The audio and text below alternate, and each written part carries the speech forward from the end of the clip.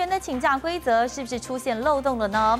南投税务局有一名女公务人员，从二零一七年开始接连请了育婴假跟产假，再加上她自己的特休假，一路休到今年六月份了才申请复职。但是她又立刻加请防疫照顾假，还成功的造册让她打到疫苗。明明前前后后加起来都已经四年没有前来上过班了，还可以顺利打到疫苗，甚至领到百万元的薪水。过于精算的行为让同仁很不满，认为就算是合法，也太过自私。隔着窗口替民众服务，疫情期间公务员仍得坚守岗位，也被列入疫苗施打名单。不过南投却有公务员四年来没上过班，一度复职也只为了造册打疫苗，随后继续请假。这样是不应该的。照片里笑容甜美的女子就是遭爆料的公务员，任职于南投税务局。二零一七年因为生产请了育婴假，二零一九年又生下第二胎，接着两年内把产假、特休假以及育婴假请好请满，直到今年六月申请复职，同仁以为他终于要回。回来上班替他造册打疫苗，没想到疫苗打完继续请防疫照顾假，让人质疑复职动机。他是说他已经把保姆已经请好了啊，但是刚好遇到疫情，所以他不得已他要继续请防疫假。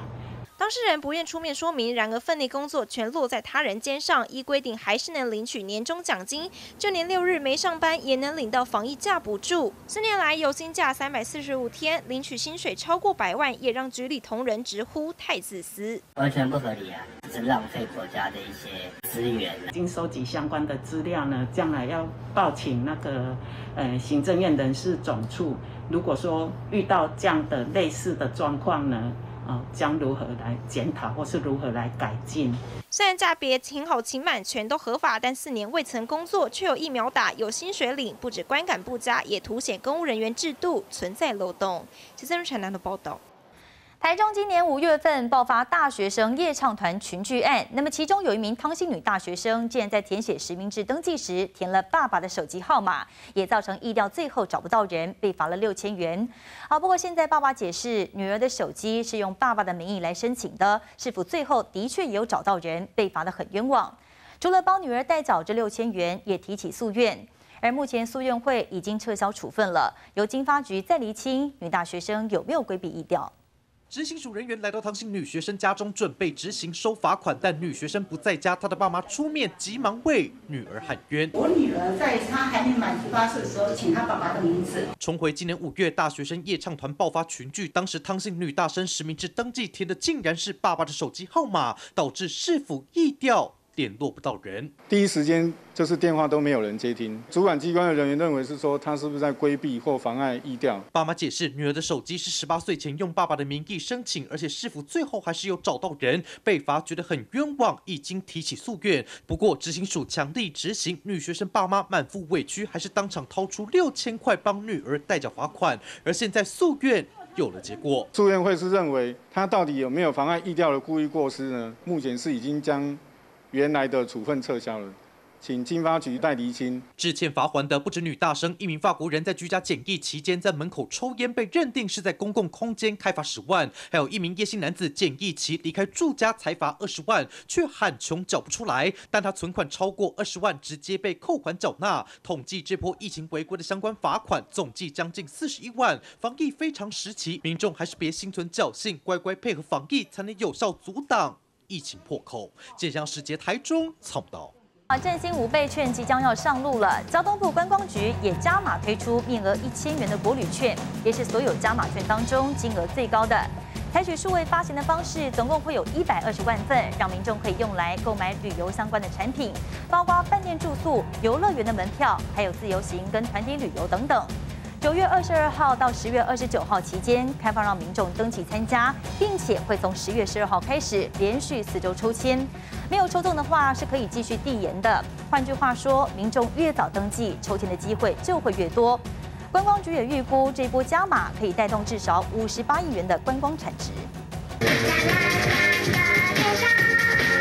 游乐园吉祥物总动员为国旅助力，搭上振兴五倍券，观光局再加码推出国旅券，使用期限从十一月到明年四月底，每张面额一千元，彩数未发行，共推出一百二十万份。民众在购买旅游行程、饭店住宿、门票、泡汤券等旅游商品时，可折抵消费。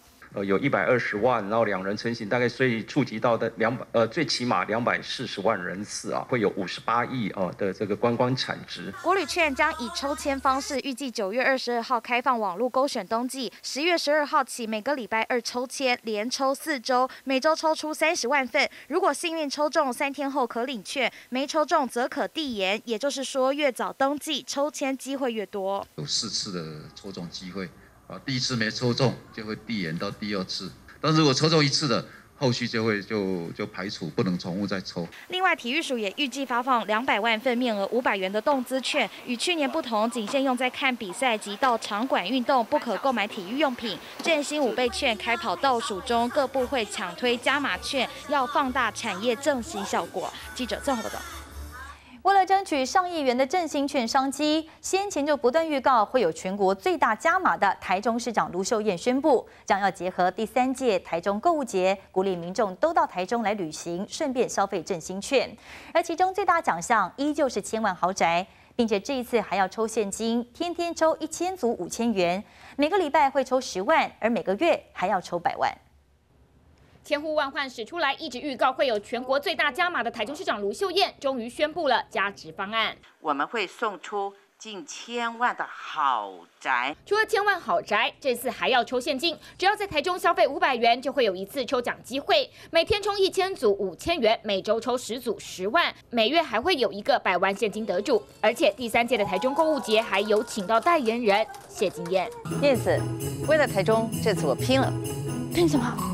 拼经济，拼现金。卢学燕真的拼了，为了争取上亿的振兴五倍券商机，台中市搭配台中购物节，鼓励民众来台中旅游。活动从十月十号开始到十二月九号，天天周周月月抽现金，压轴还有千万豪宅。只要到台中市来消费，不管任何行业别，你只要消费五百块以上，你就有一次抽奖机会。那最小的奖是现金。五千块。去年购物节创下九十亿商机，今年希望搭配振兴券能突破百亿。卢秀燕说，还会有隐藏版的加码彩蛋，就是希望大家来台中消费。所以大家想好了吗？要来台中哪里玩？记者中部综合报道。